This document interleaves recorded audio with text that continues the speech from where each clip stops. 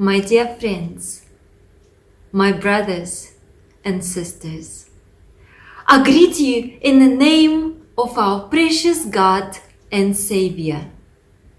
I felt very impressed today to talk to you about God's faithfulness and share my life testimony. Psalm 121. I read from New Revised Standard Version. I lift my eyes to the mountains, from where my help will come. My help comes from the Lord, who made heaven and earth. He will not let your foot be moved. He who keeps you will not slumber. He who keeps Israel will neither slumber nor sleep. The Lord is your keeper. The Lord is your shade at your right hand. The sun will not strike you by day, nor the moon by night. The Lord will keep you from all evil. He will keep your life. The Lord will keep your going out and coming in from this time and forevermore. Let us pray. Our dear Lord, your love and your guidance in, in our lives is incredible. Your faithfulness is far beyond of any our attempt to show our loyalty to you. Your mercy never ends. Please speak to us through your Spirit. We plead you in your precious name. Amen. In a time of uncertainty and disaster, time when future seems to be unclear and path to choose is in a fog, times like this, Bible authors were impressed to look back and reflect on the road God led his people. God who is the creator, who is the sustainer of universe and protector of our lives. John, the beloved disciple, in his very old age, had to respond to the major challenges Christians of second generation had to maintain the faith. When all eyewitnesses were long dead and there was nobody personally to relate to, they didn't know how to keep the faith and how and what to base their faith on. Instead of debating of Christ's nature, uh, John writes his gospel, sequences of stories from his own life with Christ. And the book, he started not where he met Christ, but from very beginning. In the beginning was the Word, and the Word was with God. He's showing his audience that Jesus, not through physical touch, but through, through his word, can touch us. He can be near us and he can guide us through his spirit. Paul, as well, after his drastic conversion, being completely crushed and sidetracked from what he thought his faithfulness to God, went to Arabia for three years. What he was doing there? We read about in Galatians chapter 1 verse 17 and 18. Nor did I go to Jerusalem to those who were apostles before me, but I went to Arabia and returned once more to Damascus. Then, after three years, I went up to Jerusalem. Saul certainly didn't go to Arabia in order to evangelize. He needed a major break to stop and to reflect who he is and who Christ is. The place he went to is Mount Sinai. He goes back to the beginning, back to the source of his commission, back where everything for Jewish nation started. There, for three long years, he's studying and praying to rediscover a new God who met him on the road to Damascus. God who faithfully leads his people. There, by the foot of the mountain, after this time, Saul is to become a biggest messenger of God's loyalty. Ellen G. White, in her book Last Day Events, page 72, writes We have nothing to fear for the future, except we shall forget the way God led us and His teaching in our past. Reflecting on this fact, I felt compelled to share with you my personal testimony of God's miraculous interventions in my life. Story of my conversion and my building up in Christ. Please bear with my English and forgive me my accent. I have been born in Russia. In communism times, in very ordinary Russian family. About my birth, my mom tells me I was tiny, seven month old premature baby. When in small town when I was born was no equipment to care for such ones. Doctors told my parents rather not to give me any name because soon they will lose me. I spent my first two months in a hospital alone. Once in the middle of the night, nurse on duty felt impressed to come to my bed and found me breathless and blue. She took me to ICU and I came back to life again. What if she would come a little bit later or just not respond to God's voice? It was beginning of God's miracles in my life. Growing in a country where communism for 70 years replaced Christianity, as a child, I remember pictures of Lenin everywhere you would possibly enter offices, school, town halls. If I watch my kindergarten pictures everywhere, Lenin on background as requirements for any social activity. When you sit in a class in school, you face not tables of multiplication, but a frame picture of Lenin. I was honored as a top learner with dedication to Little Octobrists. It's a primary school organization where children were taught Lenin's life, good deeds, and community service. As a member, you ought to wear a badge with a picture of Lenin child. Later, I became a pioneer, middle school organization to prepare you for communism party. As a young child, I had to give pledge to be faithful to the teaching of young pioneers.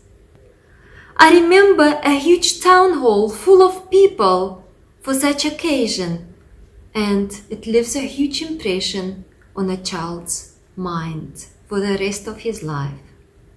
You wear a red handkerchief around your neck every day to school. If you lost one or even crinkled one, you will be sent back home. You participate in all pioneers activities, march and learn pioneer songs. Everything was fine and seems to be right, but the better you're trying to perform and to be good, the more questions like, what is the purpose of all of that? Why I'm doing that all and why this is the right way? What is the reward for that if we all die. And how to deal with contradiction powers inside of me. There were no answers communism could give to that. Fear of death, unanswered questions were driving me to depression. My teenager freedom turned into cage by communism mentality prison. I was struggling and searching for meaning in life, but no one could give it to me. Once I even dared to ask my mom if God does exist.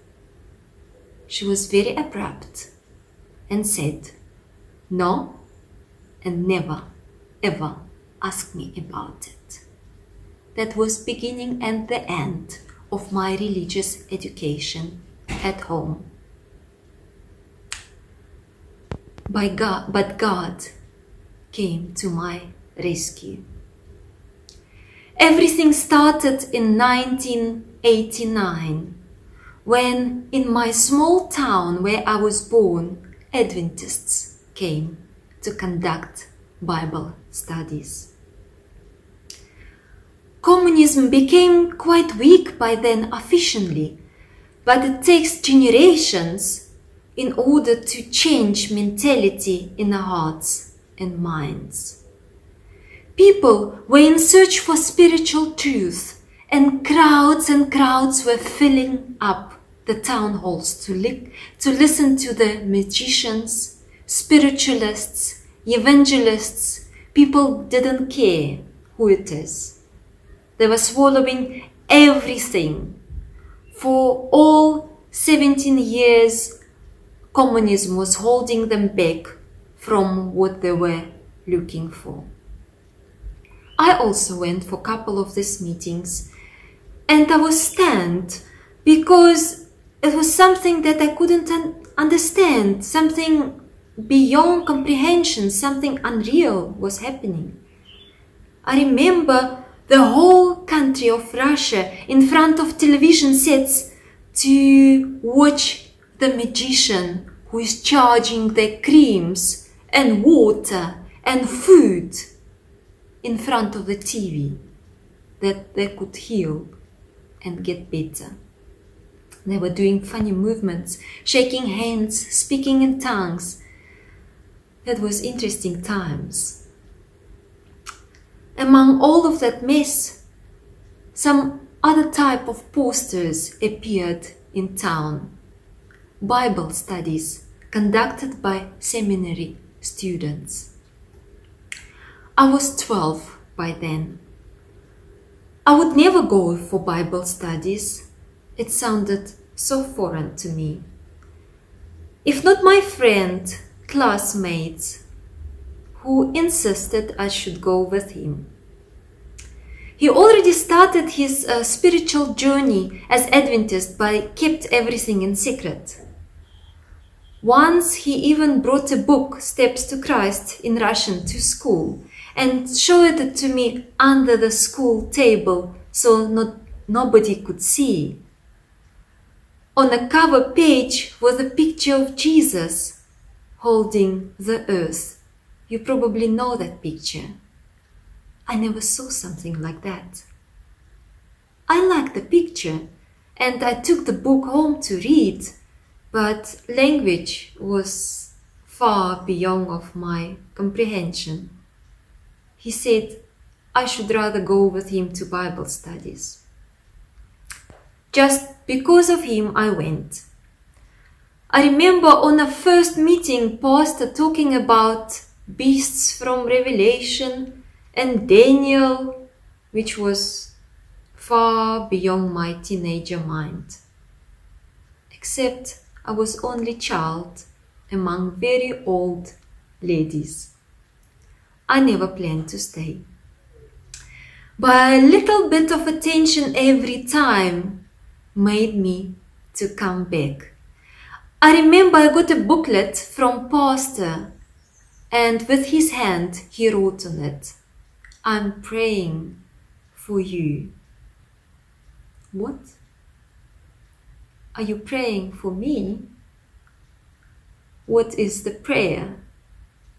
I had no clue, but I understood Pastor does care. Another time, greeting me by the entrance, he said, Welcome, here is your future. What do you mean, future? He among the old ladies who long time retired and have nothing to do.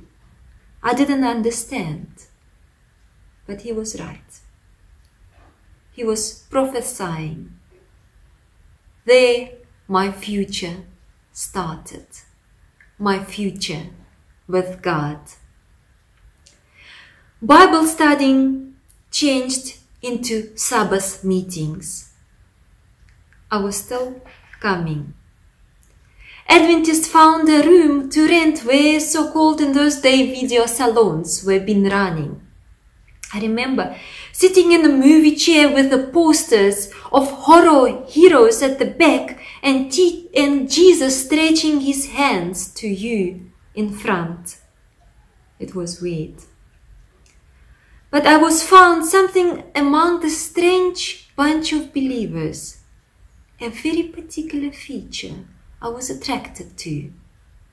They did care. I liked the songs they were singing the most. It was late autumn time, and if you look at the window, sky is gloomy and grey. Rain, rain, rain, and again rain, cold makes you think about something pessimistic. And that song, that melodious song of Christ's life and warmness, which just didn't fit the entire picture. And I remember when I looked again into the window, suddenly everything changed in a moment. Picture was still the same, but not the same light was everywhere.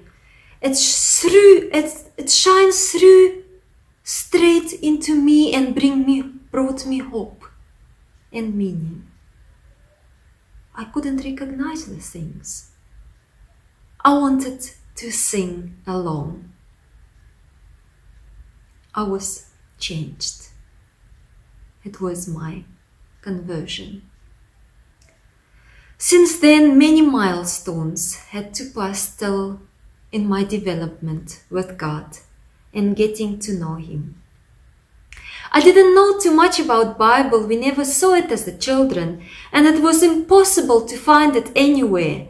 I remember someone illegally buying it from the bookshop keeper and what the precautions they had to go to. Adventists brought us Bibles. Little I could understand reading it, but slowly, drop by drop of colors were added to my palitra of God's character. It was amazing.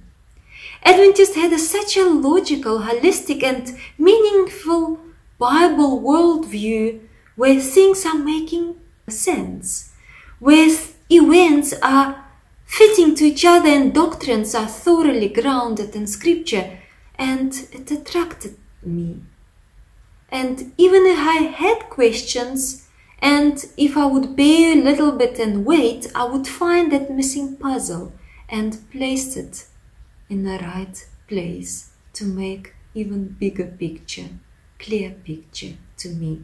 I just had to faithfully wait and study. I remember one Sabbath pastor was talking about prayer. I never prayed before. Never I knew what is that neither. I made a decision to try it coming night. I remember waking up in the middle of the night so nobody could notice me.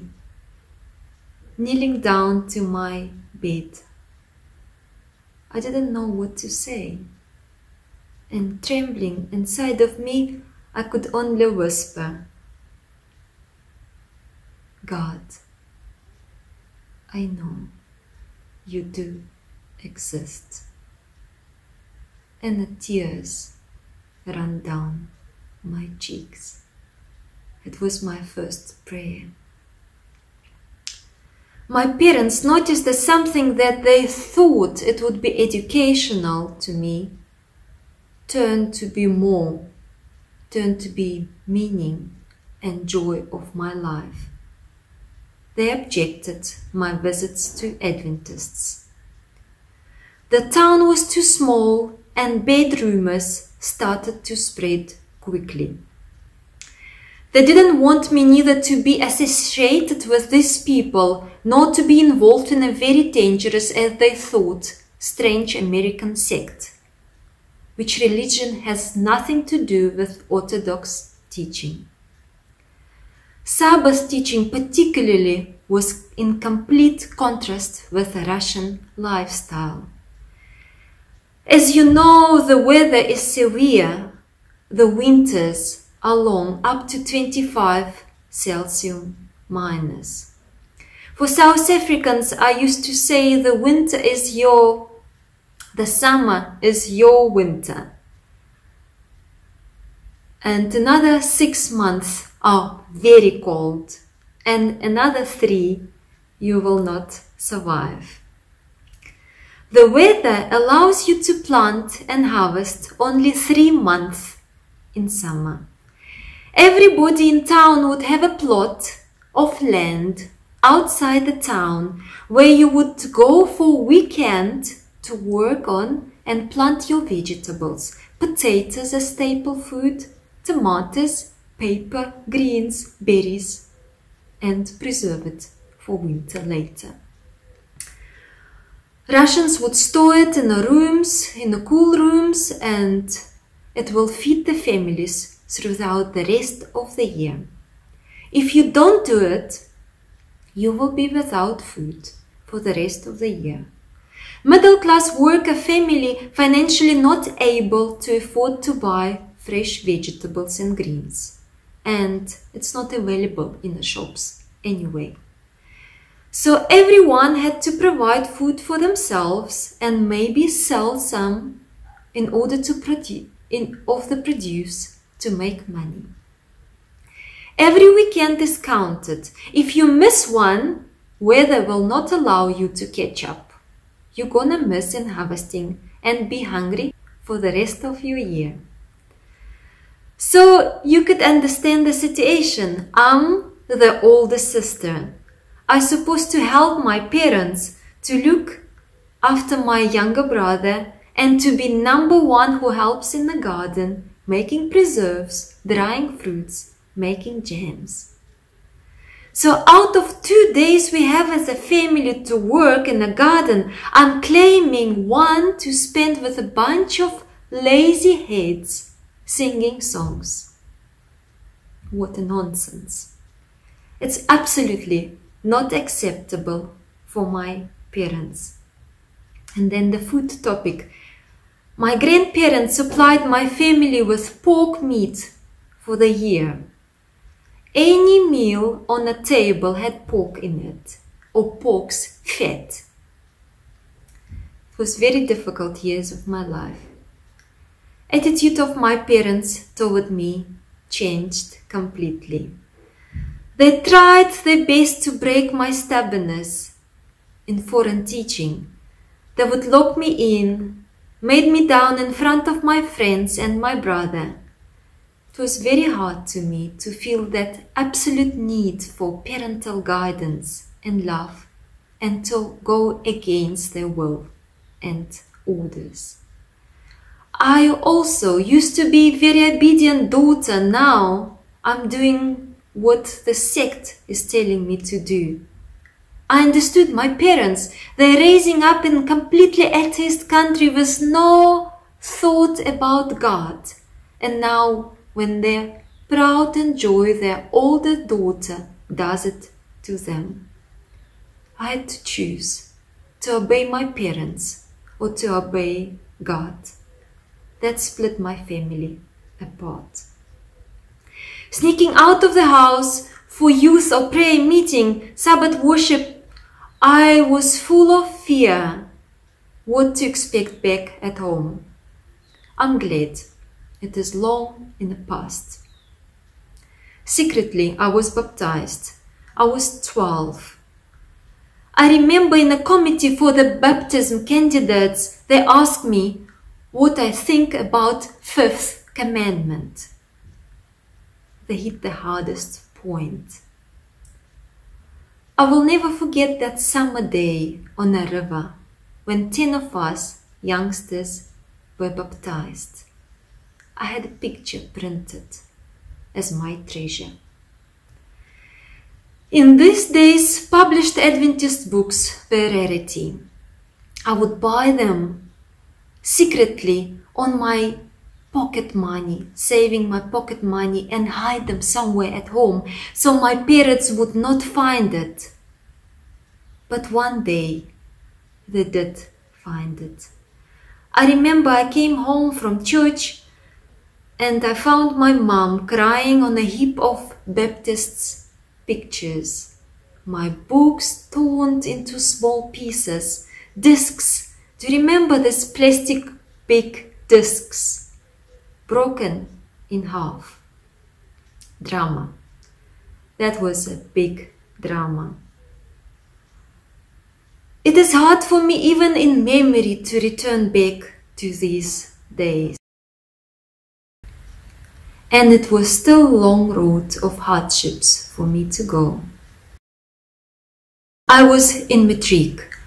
I supposed to go to university. The payments to compare with these days, you're supposed to sell the flat in order to pay your child at, uh, university fees. And my parents did It was very hard for them financially and laid even harder burdens on my shoulders. Universities were six day scheduled study. How will I be able to go through five years missing all the classes on Sabbath? I didn't know the answer. I would not even try to think about it. I simply had to trust God. Every Sabbath was full of classes. It was mainly practicums. I was studying languages, and if you're missing discussion or oral exercises on Sabbath, nobody will be able to give you recordings. We didn't have devices that time, or textbooks or notes. You come on Monday back and you are not prepared, completely not prepared. Moreover, you didn't do the homework and you don't know material. I hardly was passing my tests. Exams were falling mainly on Sabbath. It was very difficult for me to make arrangements with professors who are military atheists. But God was keeping me there. I could tell miracle by miracle every Sabbath of my keeping. And every exam I had to go to or fail. I didn't have a good reputation among my classmates, mainly of the Sabbath story. Secondly, I didn't participate in their socials and parties. I would have my church uh, socialize with and young people to spend time with. I remember not pitching up for exams and again and again and my classmates would exclaim, you dig yourself a ditch, girl. Yes, I did. And she was right. But God got me out of it. The third year was particularly challenging year. I had to pass my state comprehensive exams in every subject to be accepted for the next level of master's program exams were on Sabbath. The main exams in languages was two, oral and writings. I tried to speak to the head of committee, but my reasons for them were only to laugh about. I asked my pastor of the church to talk to any member of the committee, and he did, but it made them even more angry and put me even in more difficult situation. I personally went to rector of university begging me to allow me to pass exam on any other day. The old man replied me telling a very sad story. His father was a Baptist. He grew up in a family of 10 kids when the First World War broke out. Father refused to take arms and he was put to prison for his faith. Mother left alone to raise 10 kids. In her desperation and poverty, she denied God and faith of her husband and raised children as atheists. Such a man I faced pleading for Sabbath. He didn't make any move toward my requests, left me with the words, It's your choice. Your sect or diploma, university diploma. I chose my sect. I didn't come for exams. I was expelled. How to convey news to my parents that would, me, that would chase me out of house. From the stress I was going through, I became very sick. Rector called my parents for a visit. The day they had to drive to see him, our car broke. They couldn't meet. Other appointments also didn't work. I knew God, merciful, keeps his hand over me. Till today, my parents don't know I didn't go to any classes on Sabbath and I was expelled this year for my Sabbath keeping. I had to appear to rector again for my documents. I thought maybe I will find another university where I can continue to study. That day he told me, in a week time, I can come for my second chance, for my missed exam. It was shock to me because I didn't expect it. Summer holidays passed, I didn't study because I didn't know about that option. Exam was combination of languages with practical studies. There's no ways you can prepare for that in one week. Without preparation, and with my missing knowledge of Sabbath lectures, feeling very sick, I knew I had a very little chance to pass it, plus attitude of the entire committee toward me. I asked my church and my friends to pray, and I went. I remember very vividly they gave me to prepare after drawing my ticket. The moment I sit before them, the door of the room opened and the rector walked in. He started a discussion with the members of the committee and they all were focused on him, not paying attention to me. I didn't know should I carry on or should I pause and wait. They asked me to carry on. I knew I'm talking nonsense or rather things out of topic, making many mistakes, but nobody was listening to me. At the moment I finished, they finished discussion too, and they turned to me. And they said, We hear you have prepared well for exams, and we're giving you a chance to continue your further studies on a second level. I couldn't believe it. They didn't hear me. They didn't hear anything what I said. I rushed to my church friends to tell them the news, and what I hear from them that they were praying they would close the ears of the committee member that would not hear me. For they knew I'm not prepared and I'm sick. God literally answered the prayer. God closed the ears of all that people I remember my graduation day. The same rector was standing in front of me with diploma. I was wondering what he was thinking about. He couldn't look at me. I went through an institution where no one ever could graduate and be faithful to keep the Sabbath. It was the next victory of God in my life. I was 20 years old then.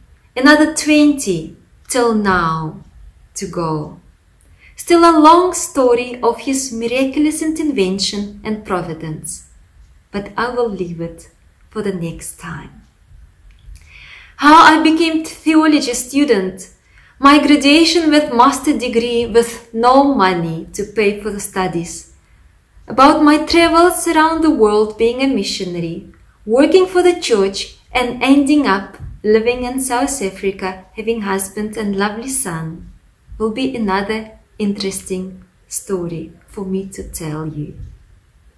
Ending up my testimony today and looking back at my pages of life, I witness. I was fearful.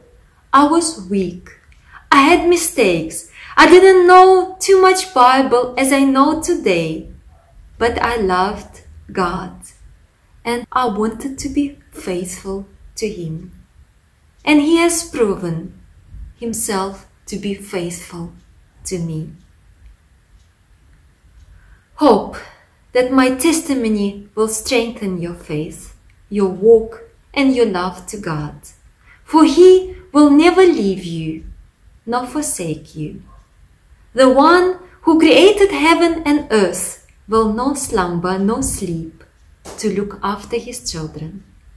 He will ever be on your right hand and he is coming soon in his glory to fetch you, to live with him forever. I lift my eyes to the mountains from where my help will come. My help will come from the Lord who made heaven and earth. O Lord Jesus, come soon. Let's pray. God, faithful Lord and Savior, we want to stay in awe of your faithfulness, of your guidance, of your love, of your protection. You created your children and you care for your children forever.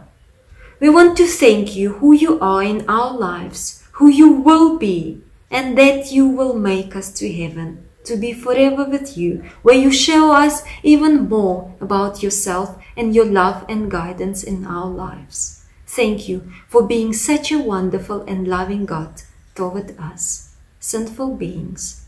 Amen.